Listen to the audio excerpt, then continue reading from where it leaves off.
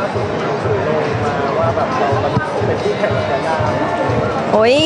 แข่งน้องย่าไม่ได้หรอก ก็เป็นคนละสไตล์ค่ะ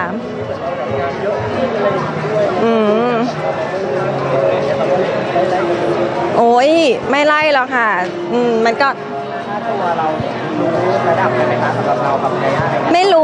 ไม่รู้ของใครเลยค่ะใช่มิวก็ตามความเหมาะสมของมิวเอง ไม่ได้ไปแบบว่าเปรียบเทียบว่าจะต้องประมาณเท่าคนนี้หรือว่าอะไรอย่างเงี้ยเราก็เอาตาม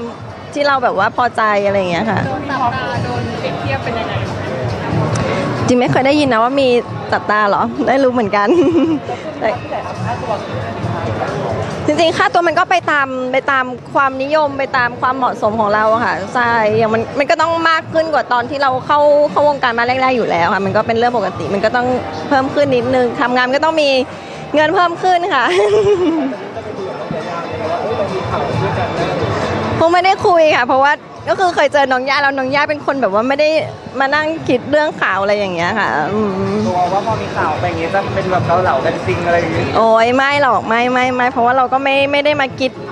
อะไรอย่างนี้เยอะอยู่แล้วอะค่ะมิวครับพอมีชื่อเสียงขึ้นคนก็มองว่าเข้าถึงยากครับตอนนี้เข้าถึงยากหรอไม่ยากหรอกยังเดินห้างอะไรปกติเลยค่ะมีการบอกว่ามีแฟนคลับเลยทำให้แบบคนเข้าใจผิดอะไรอย่างเงี้ย ไม่นะก็เราก็จะเดินปกติของเรา อะไรอย่างเงี้ย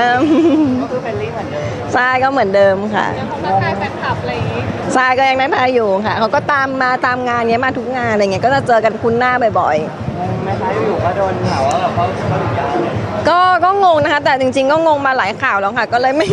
ไม่ได้ตกใจมาก